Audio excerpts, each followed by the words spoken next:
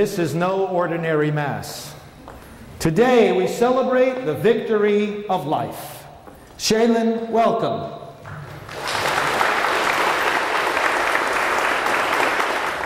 Yadira and Jose, what name do you give to your child? Shaylin. And what do you ask of God and His church for Shaylin? For his blessings. You have asked to have Shaylin received into the church by baptism. In doing so, you are accepting the responsibility of training her in the practice of the faith. It will be your duty to bring her up to keep God's commandments as God has taught us in Christ by loving Him and our neighbor. Do you clearly understand what you are undertaking? The Christian community welcomes you with great joy. In its name, I claim you for Christ our Savior by the sign of His cross. I now trace the cross on your forehead and invite your parents and godparents to do the same.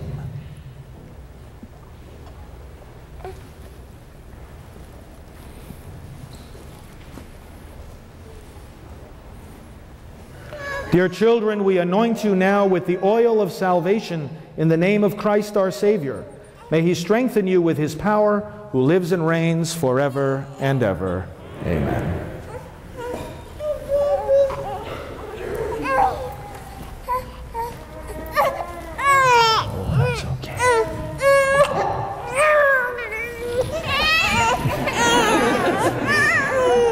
sisters, we are now going to bless the holy water with which these children will be welcomed into new life in abundance through the Holy Spirit. We ask you, Father, with your Son, to send the Holy Spirit upon the water of this font. May all who are buried with Christ in the death of baptism rise also with him to newness of life. We ask this through Christ our Lord. Amen. And so I ask you, brothers and sisters, do you reject Satan and all his works and all his empty promises? Do. do you believe in God the Father Almighty, the creator of heaven and earth? Do. do you believe in Jesus Christ, his only Son, our Lord, who was born of the Virgin Mary, was crucified, died, and was buried, rose from the dead, and is now seated at the right hand of the Father? Do you believe in the Holy Spirit, the Holy Catholic Church, the communion of saints, the forgiveness of sins, the resurrection of the body, and life everlasting? Shaylin Yvette, I baptize you in the name of the Father, and of the Son, and of the Holy Spirit. Amen.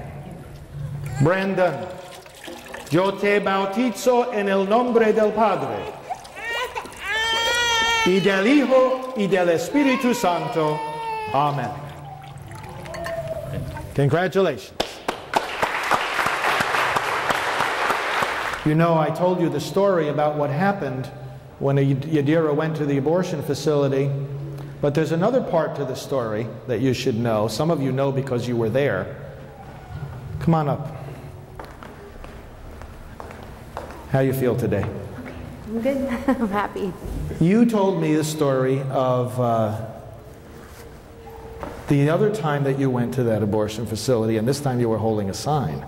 Yes. Tell, tell us about that. Um, we were out there just, you know, there was a lot of people out there praying. and me and Jose, we were out there with our big sign, um, letting everybody know that our beautiful baby is alive, thanks to pro life advocates.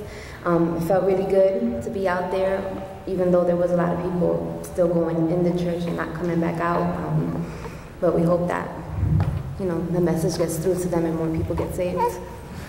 And uh, Aurelis, and uh, let the moms and dads and babies come forward for a moment. And the sidewalk counselors who intervened to save these lives, would they come forward as well? And I just want you to stand in front of the congregation here for a moment, facing them. Come on up, some of you here. We should, we should just savor this moment because this movement works so hard all across the country. And today we see fruits. Let us once again give thanks to God for the victory of life.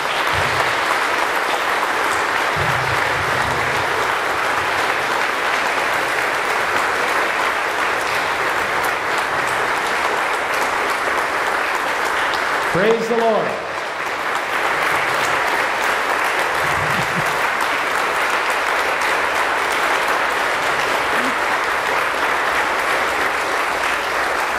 You can be sure that these moms and also these babies, when they're old enough to talk, are going to be among the most eloquent defenders of everyone's right to life. Now, Lord, we give you thanks for the gift of life. We thank you for rescuing and saving these children through the intervention of the people of life. We ask you to bless their moms and their dads, their godparents, their entire families with the strength to continue to instill in them that love for life. Lord, as you have saved these children from the evil of abortion, also save them from every evil throughout the course of their lives. We ask you to bless these godparents and these counselors who intervened for these children, and may they continue to be shining examples of your gospel of life. We ask all this through Christ our Lord.